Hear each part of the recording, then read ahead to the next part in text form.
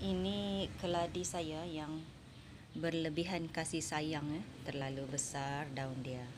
Okey banding dengan yang ini kecil. Okey.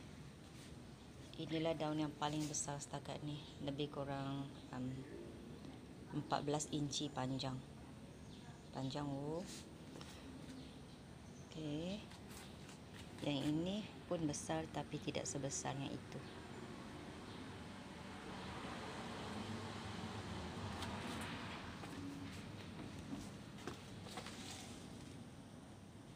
Okay, so inilah koleksi keladi saya.